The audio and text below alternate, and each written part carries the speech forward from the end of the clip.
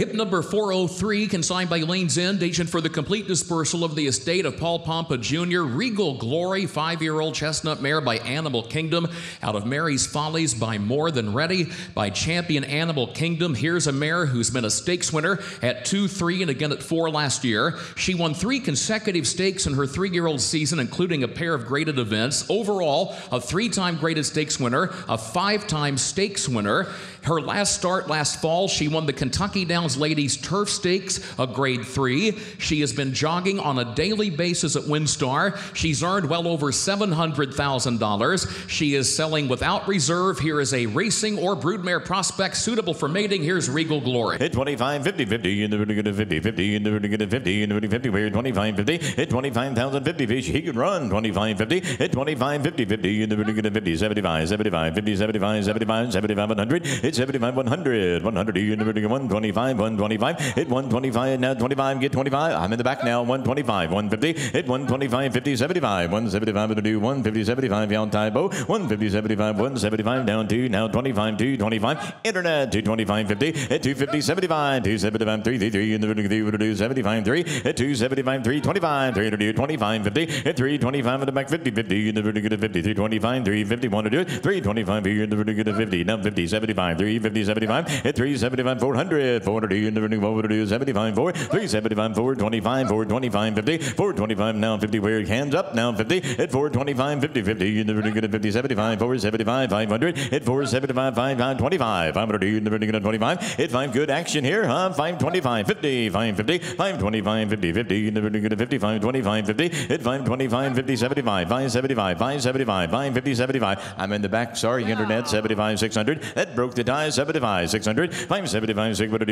575, 600, hit 575, 600, 600 here, money to the back now, 75, 600, 575, 600, 25, 600, nope, I got the internet, 625, and now 50, now 50, 625, 50, 625 here, now 50, 50, now 50, now 50, where's 625, show barn, oh, I got 650, 75, 675, now 700, and now 25, 725, that's your bid, 725, it's 725, 50, 725, 50, 725 here, in the 50, 750, 800, 758, it's 758, 758, where's 8, now 50, 850, let's re-break that, 850, 850, 800 here, in the 50, 800 here, now, you out the back, man, I'm on the internet, 850, 800, 850, 825, 800, 825, 800 here, in the 25, 50, 825, 50, 50, in the 50, 825, 50, 825 here, 50, 825, 50, where 825, 50, 850, 75, 75, 875, 75, 850, 75, 75, 850, 75, 875, 900, 875, 9, 900 here, in the 50, 75, want to get 900,